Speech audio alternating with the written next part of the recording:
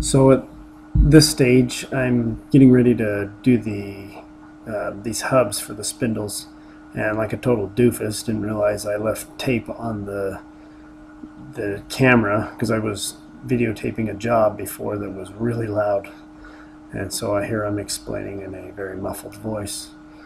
So uh, uh, I'm going to put in put in that uh, that bearing the one side's done, but I got to do the other side. Two of them are already done. And here I'm just showing how the, the bearing goes in and the that snap ring holds that bearing in place. That was it, it was a more secure way than than just letting the spacers in between the shackle keep keep that centered. Uh, it, it keeps the bearing from floating around in there. So I, I, like that a lot better. Just just for uh, reliability later on. So and sometime I'll get it in the lathe here and get get machining on it. So sped this up for for time. Uh, so here I'm just facing it in length. It's two and a quarter. Uh, uh, just using a CNMG insert. Uh, I actually kept these the edges pretty sharp. I, mean, I did I did deburr them, but uh, normally I'd put a nice little radius on them, but I, I didn't on these. So I uh, boring these out to inch and an eighth, uh, 448 deep. Uh, that, that's enough room for the bearing and the snap ring. So just take my time. I'm running about 450 RPM. Um, about a, a staying around 25 thousandths, or uh, excuse me, 12 and a half thou depth of cut, uh, 6 thousandths feed rate. Uh, it seemed to be pretty good. I I don't like to work this. This boring bar is pretty small. I don't like to work it too hard uh, the the inserts just don't hold up on, on carbon steel. On brass and things, they they go very well. Uh, so now I'm just putting a, a recess on the inside, uh, so the inner race of the bearing doesn't doesn't touch. So it's just resting on the outer race. So here I'm over at the mill, uh, putting in these counterbores for the to accept the spindle and I will, I'm starting with a half inch because my end mill is in the center cutting. Um, using the Noga to, to do my depth on my quill. Uh, then I'll going back in with a one inch to finish the bore. And the, and the head of the mill is canned at one degree to give the camber for that.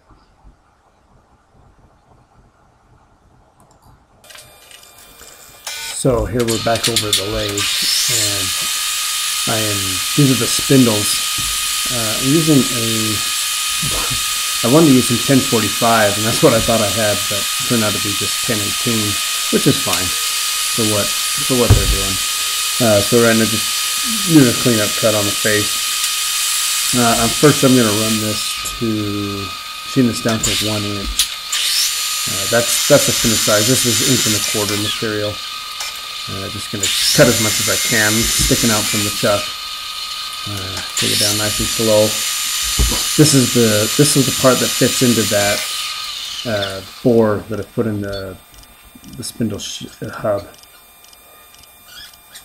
Uh, so uh, just using a CNMG 431 insert.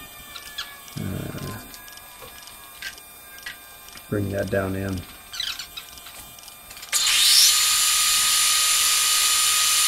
That's one thing I don't like about 1018 is I always have a hard time getting a nice clean finish. So just like I'm, yep, sticking that bore.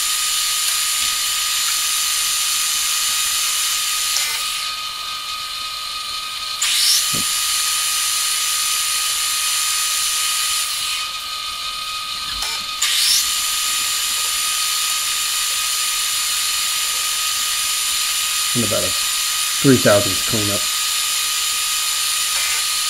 One of my calipers, or, uh, uh, or my mics was off. I didn't find that out until this stage. They're about three thousandths off.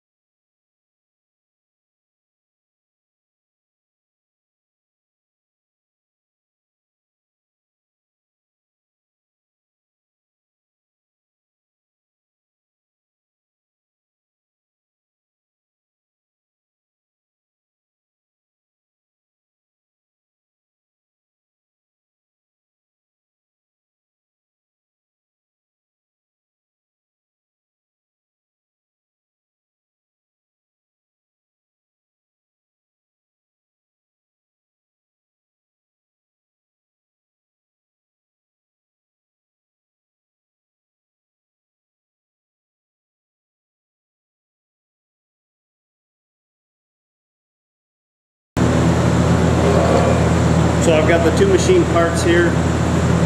Uh, this goes in the socket, set to that one degree camber, and let's just weld them up.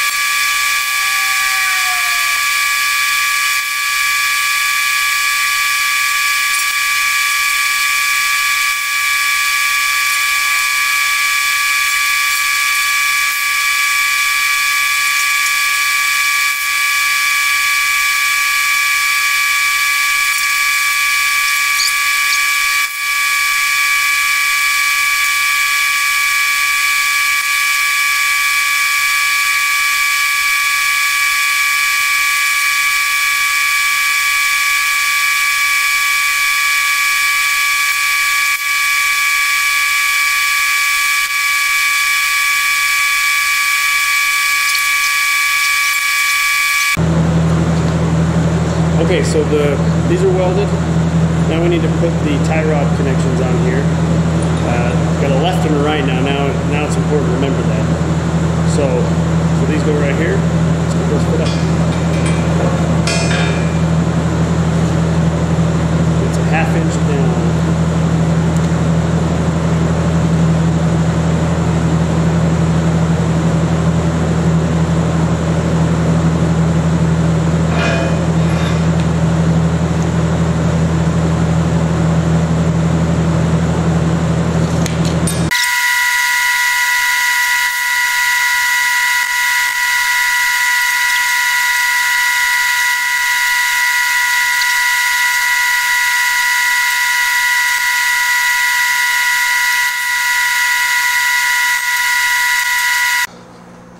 Okay, so I'm back.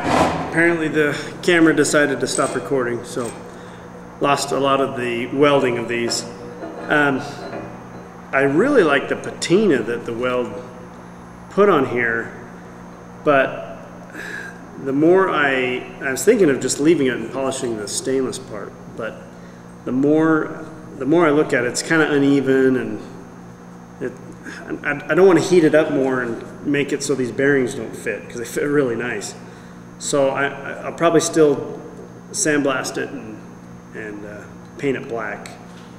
Uh, that was the original plan, but uh, I, I would need to heat it up some more to get that blue temper to come in. But it's it's kind of neat, but uh, I just don't want to affect the bearing fit.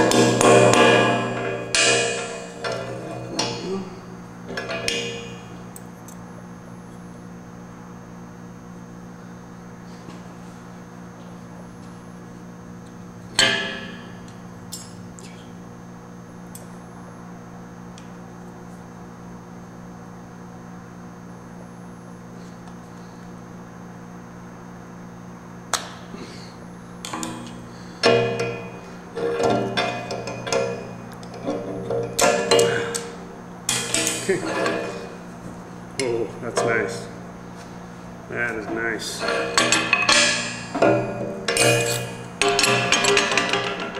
So there's the two. Like that. Hmm, wait. There we go. like that. And then, then they each get this hub for the rim. That goes there. And once I have everything mounted, I'll, I'll drill this hole for these uh, castle nuts.